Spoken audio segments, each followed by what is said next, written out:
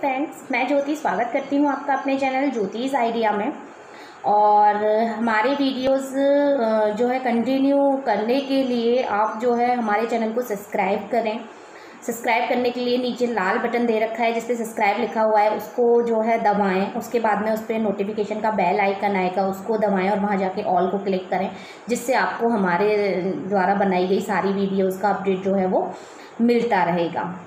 तो आज मैं बात कर रही हूँ कि आटा हम डेली रोटी के लिए सभी लगाते हैं, लेकिन उस आटे की रोटियाँ, जैसे गरम गरम अगर हम खा रहे हैं तो जो है वो ठीक रहती हैं। लेकिन जब वो ठंडी हम उनको रख देते हैं या हम लंच बॉक्स के लिए रोटियाँ बना रहे हैं तो आटे को किस तरीके से हम लगाएँ, जिससे कि जो रोटियाँ हैं वो आगे भी नरम बनी रहें। तो देखिए, आज जो है मैं सिंपल तरीके से आटा, लेकिन मैंने उसमें कुछ ऐड किया है, वो आप देख सकते हैं। और आटा लगाने का एक टेक्निक है कि हाथों की किस तरीके से आपको वो आटा जो है लगाना है। तो नरम आटा गूंदने के लिए, नरम रोटियाँ बनाने के लिए आप मेरे वीडियो को देख सकते हैं। पसंद आए तो लाइक और सब्सक्राइब करना बिल्कुल ना भूलें। Thank you.